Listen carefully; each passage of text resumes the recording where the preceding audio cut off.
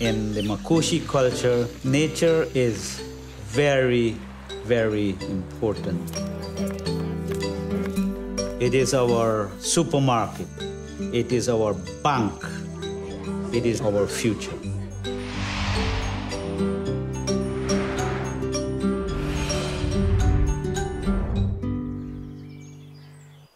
I belong to the Makushi group of indigenous peoples of Guyana. At the Surama Eco Lodge, what we sell here is the ability to reconnect to nature. First thing first, you have to need to shelter. We have survival training. We teach how to construct a shelter in the forest, extract water and navigate by the stars. Some of them came in about this size, and when they left, they were about this size.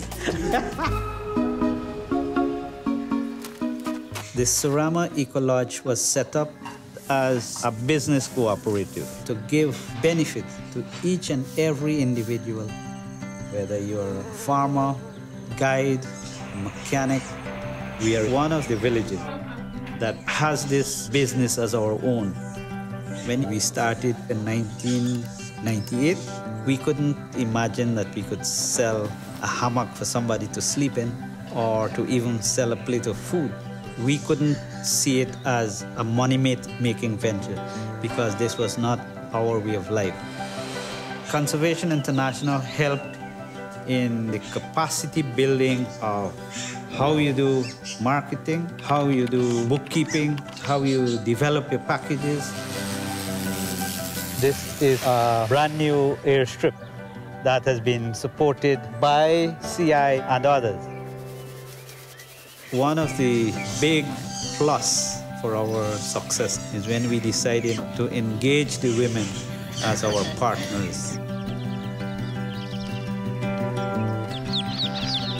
75% of the people are benefiting from tourism. Most of the food is from local farmers. The chicken, the eggs, the cassava bread, handicrafts, transport, all these things. Before we started, people used to be working in the mines. The young people would go off. There was breaking up of families. Now we have a number of young people who are taking on the responsibility.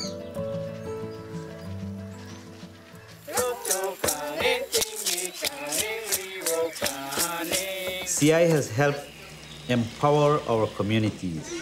CI has helped us have confidence. Ecotourism in Guyana has the potential to becoming just as big or even bigger than Costa Rica. As a member of parliament, I've been interacting with the acting minister of tourism. My biggest hope is that I could take what I've learned here to the entire country. It is helping us to maintain our culture. It is helping us to have a livelihood. We feel very fortunate to have a forest still intact.